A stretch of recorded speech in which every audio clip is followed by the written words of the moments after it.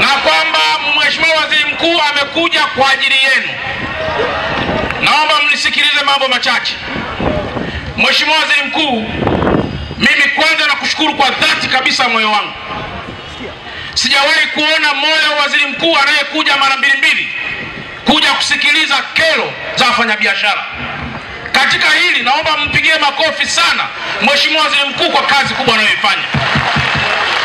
Lakini jambo la pili,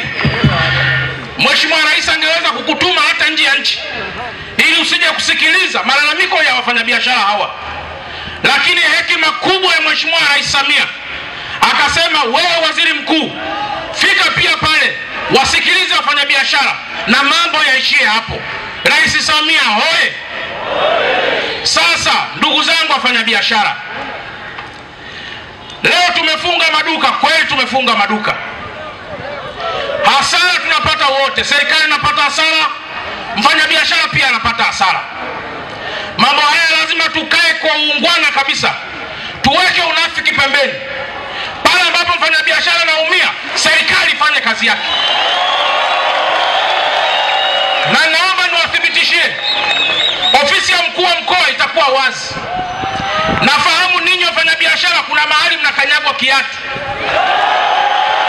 na mimi kama mkuu wa mkoa itakuwa ndio mara yangu ya mwisho kuja kwenye kikao kama hiki ambacho mheshimiwa waziri mkuu wangu amekuja hapa, kwa sababu itakuwa ni aibu kwangu mimi mkuu wa mkoa kumsumbua mkuu, kumsumbua waziri mkuu afike na mimi mkuu wa mkoa niko hapa, maana yake nitakuwa siitaki kazi ya kuwa mkuu wa mkoa wa Dar es Salaam.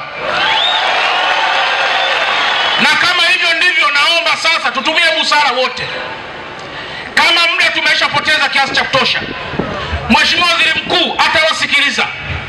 Mheshimiwa waziri mkuu atatoa maagizo kwetu wasaidizi, na naamini kwamba sisi tutafanya kazi ya kutatua zile kero zote ambazo ninyi mmekutana nazo kwa miaka mingi sana. Na kama kuna watu wa TRA wanawasumbua, basi sisi tutawaonya TRA ili nyinyi mambo yenu yaweze kwenda vizuri. Na kama ninyi pia ni wasumbufu kwa TRA, na ninyi tutawaonya ili pia TRA ifanye kazi zake vizuri, mwisho wa siku lazima wewe upate na serikali ipate, na sio wewe upate peke yako serikali ikose. Miradi haitakwenda wewe ukikataa kulipa kodi.